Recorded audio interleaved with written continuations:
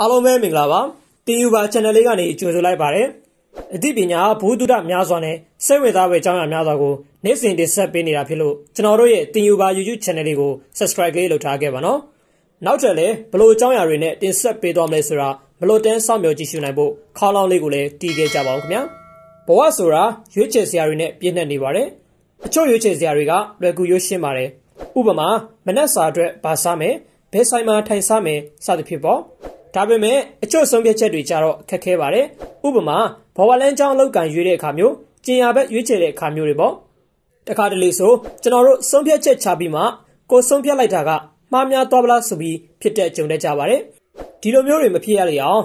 ဒီနေ့မှာမှန်ကန်တဲ့ဆုံးဖြတ်ချက်တွေကိုနီလန်းမမှန်နဲ့ဘယ်လိုချမှတ်တင်လဲဆိုတော့နီလန်း6တွေကိုပြောပြပေးသွားမှာပဲဖြစ်ပါတယ်ကဲဘာတွေဖြစ်မလဲဆိုတာကျွန်တော်နဲ့အတူစက်ကြည့်လိုက်ကြရအောင်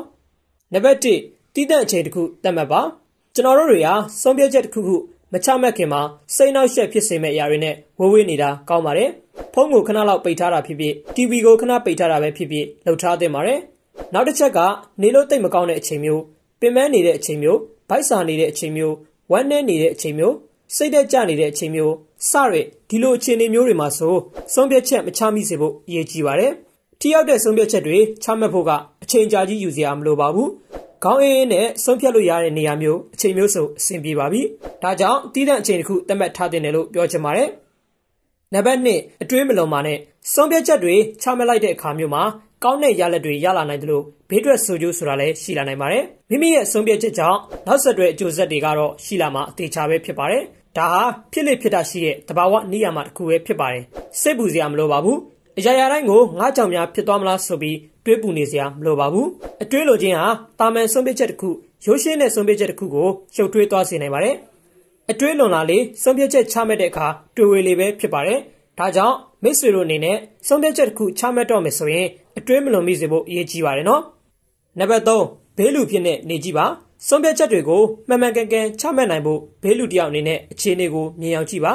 ဆိုလိုတာကတခြားသူဆိုရင် ကိုယ့်ရဲ့ဆုံးဖြတ်ချက်ပေါ့ဘယ်လိုမြင်နိုင်မလဲပေါ့ဒီလိုပြောလို့တခြားသူတွေရဲ့ကဲ့ရဲ့ပြောဆိုမှုတွေကိုနားထောင်ရမယ်လို့ဆိုလိုပါဘူးဘေးလူတယောက်အနေနဲ့မိမိရဲ့အခြေအနေကိုမြင်အောင်ကြည့်ပါဒီလိုမြင်အောင်ကြည့်တဲ့အခါအခြေအနေကိုရှုထောင့်ပေါင်းစုံကနေကြည့်တတ်လာနိုင်မယ်တခါတလေဆုံးဖြတ်ချက်ချဖို့စ조사တဲ့နေရာမှာစိတ်ရှုပ်နေတာမျိုးစိုးရိမ်လွန်နေတာမျိုးဆိုရင်ကိုယ့်ကိုယ်ကိုဘေးလူတယောက်အနေနဲ့တတ်မှတ်ပြီးအခြေအနေကိုတုံ့တက်တာပိုကောင်းပါတယ်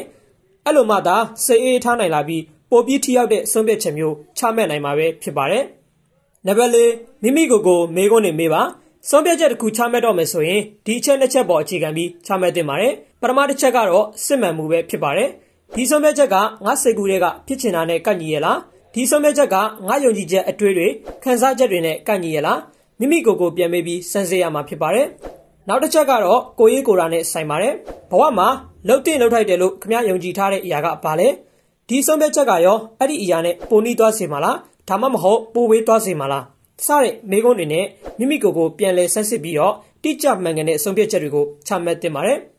နံပါတ်5ရွေးချယ်စရာတွေကိုချုပ်ကြည့်ပါကျွန်တော်တို့တွေဟာရွေးချယ်စရာတွေကိုတက်နိုင်သလောက်ရှော့ချသင့်ပါတယ်ဘာလို့လဲဆိုတော့ဒီလိုရှော့ချနိုင်မှသာလျှင်ဆုံးဖြတ်ချက်ချမှတ်တဲ့အခါစိတ်ပင်ပန်းမှုကိုရွတ်ကျစေမှာပဲဖြစ်ပါတယ်နောက်တစ်ချက်ကကိုယ့်အတွက်ဘယ်အရာတွေကအရေးကြီးလဲအမှန်တကယ်လိုအပ်တယ်လဲဆိုတာရှင်းရှင်းလင်းလင်းသိထားရပါမယ်